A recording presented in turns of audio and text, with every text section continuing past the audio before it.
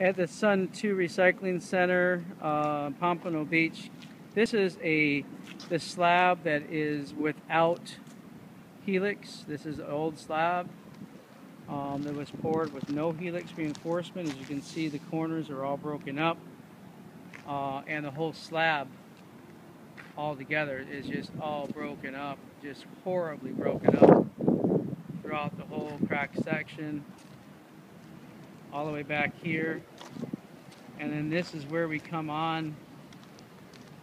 And we've got the helix reinforced slab that as you can see has uh, been scraped and bruised and battered with uh, many many thousands of tons of scrap metal and equipment poured over it. But look at the corners again. If we look at the get that cracking coming off the corners like you do on the slab that is poured without helix. Let's come over here.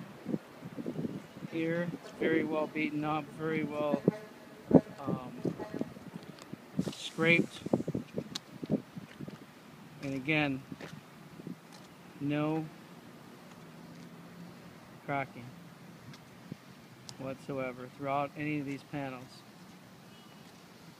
Sun Recycling Center, May 10, 2013, Pompano Beach, Florida.